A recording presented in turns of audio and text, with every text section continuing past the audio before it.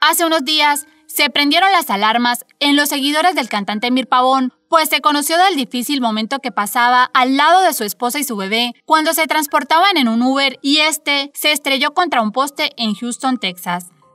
El cantante comentó hace unos días que le preocupaba la salud de su esposa, ya que tiene fuertes golpes y deben operarla para que pueda sobrellevar varias fracturas que tiene en su cuerpo.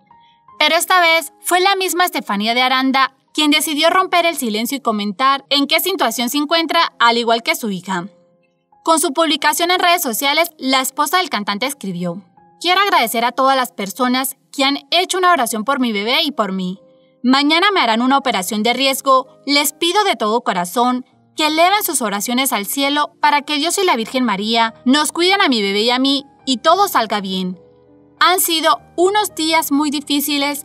Hoy más que nunca le agradezco a Dios de que estemos vivos mi hijo, mi esposo y yo, y solo me pongo en sus manos, confiando plenamente en Él de que todo saldrá bien. En mi Dios confío y en sus manos estamos.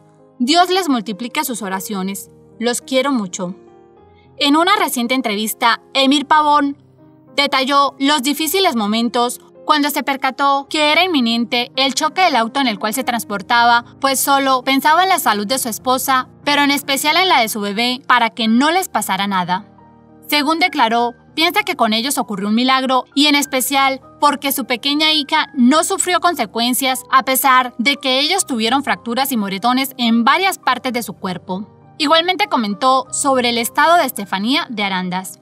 Les pido muchas oraciones por mi esposa que todavía no la han podido operar de la doble fractura que tiene por otras complicaciones.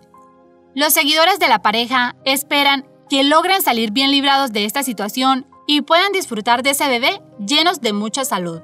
Farándula de hoy envía un fuerte abrazo y las oraciones para su pronta recuperación.